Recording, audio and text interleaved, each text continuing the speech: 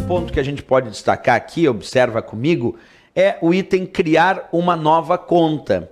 Porque quando nós clicamos ali na opção criar uma nova conta, e eu vou fazer isso agora, aparece exatamente essa imagem que tu está visualizando, que diz lá, dê um nome para a conta e escolha um tipo de conta.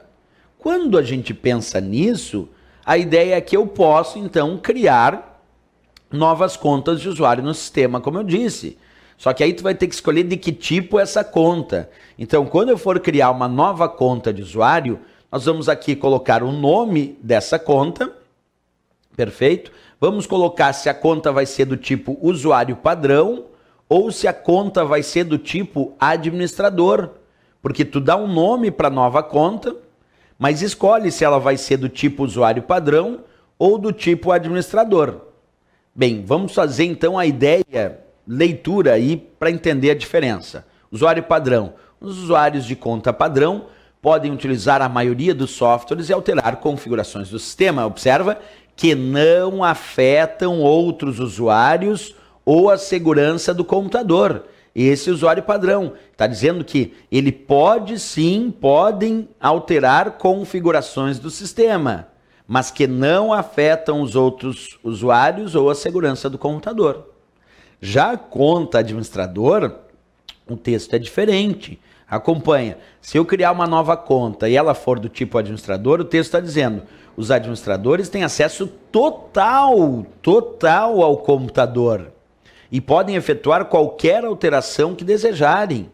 Lembra, eu dizia que o administrador é o todo-poderoso do sistema, como está descrito aqui. Ele pode alterar todo tipo de configuração. Aí diz, com base nas configurações de notificações, talvez eles precisem fornecer ou confirmar sua senha para poderem efetuar alterações que afetam outros usuários. É recomendado proteger todas as contas com senhas fortes. O que, que significa a ideia que ele diz de recomendado proteger as contas com senhas fortes. Quando tu vai, quando tu vai criar uma senha, é interessante que essa senha seja criada com mistura de números, com letras. Isso é importante. É importante que tu faça não um nome comum, tipo, ah, vou criar minha senha, vai ser curso. Bem, mas daí é um nome comum, não é considerado uma senha forte. Só um nome típico que tu encontra no dicionário comum não é uma senha forte. Então, uma senha forte vai misturar é, textos, caracteres de texto, números, vai misturar muitas vezes, e aí é um ponto importante, caracteres especiais. Isso é interessante. Não simplesmente um nome, por exemplo, muita gente bota data de nascimento. Não é uma senha forte, né? Isso tudo sobre as contas de usuário e segurança familiar. Né? Beleza.